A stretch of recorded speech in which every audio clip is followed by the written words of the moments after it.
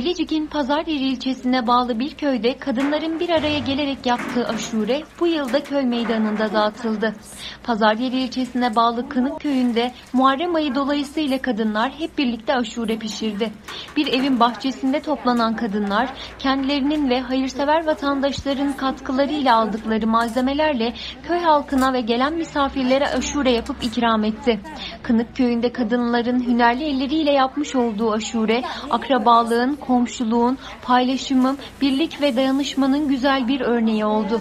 Kadınlar tarafından yapılan aşure ikramı öncesi köy camiinde Mevlid-i Şerif okutulurken etkinliğe köy halkının yanı sıra birçok misafir katıldı. Pazaryeri Belediye Başkanı Zekiye Tekin ve ilçe müftüsü Şenol Şahin'in de katıldığı etkinlikte kadınlar tam bir dayanışma örneği gösterdi. Aşure yapımında Kınık köyündeki kadınlara yardımcı olan Fevziye Kubat, köylü kadınlarımızla hep birlikte aşuremizi yaptık. Allah kabul etsin. Herkesin emeğine sağlık. Yardımda bulunanların, yemeğe gelenlerin hepsinin eline sağlık. Allah razı olsun hepsinden de. 500 tane. Tamam. Tamam tamam. Tamam oldu. Oo,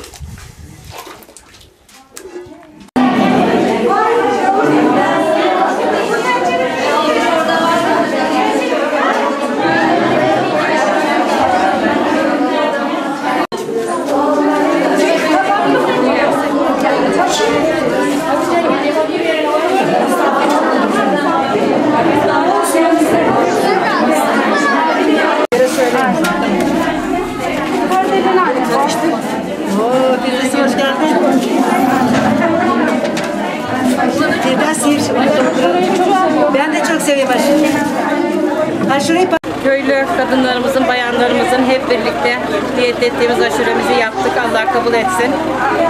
Herkesin eline sağlık. Yardımda bulunanların, yemeğe gelenlerin hepsinin eline sağlık. Allah razı olsun hepsinden. Teşekkürler.